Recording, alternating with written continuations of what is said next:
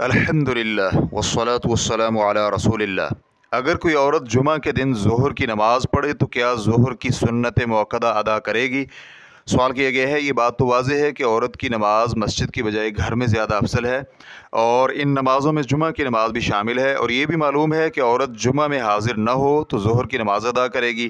میرا سوال یہ ہے کہ اگر جمعہ کی جگہ نماز ظہر ادا کرے تو کیا روزانہ کی طرح نماز ظہر کی سنت موقع بھی ادا کرے گی یا پھر جمعہ کے دن کی وجہ سے اس کا حکم الگ ہوگا؟ الجواب بعون اللہ سبحانہ و تعالی۔ عورت پر نماز جمعہ واجب نہیں ہے، تاہم اگر عورت گھر سے مسجد جائے اور جمعہ کی نماز ادا کرے تو یہ اس کے لیے ظہر کی نماز سے کفایت کر جائے گی۔ جیسے کہ دائمی فتویٰ کمیٹی کے فتاوہ جلد نمبر سات، صفحہ نمبر ڈبل تھری سیون میں ہے۔ اگر عورت نماز جمعہ، خطیب جمعہ کے ہمراہ ادا کرے تو پھر یہ اس کے لیے ظہر کی نماز سے کافی ہو جائے گا۔ اس کے لیے اس دن کی ظہر کی نماز پڑھنا جائز نہیں۔ اور اگر عورت اکیلی ہو تو پھر صرف ظہر کی نماز ادا کرے گی۔ وہ اکیلی جمعہ ادا نہیں کر سکتی۔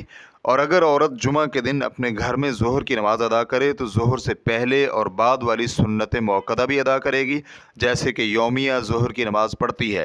واللہ تعالی اعلم۔ اسلام کیو اے ریکارڈنگز، مؤسسۃ الشیخ محمد صالح المنجد المملکت العربیت السعودیہ فتوہ number one four five nine two five والسلام علیکم ورحمۃ اللہ وبرکاتہ۔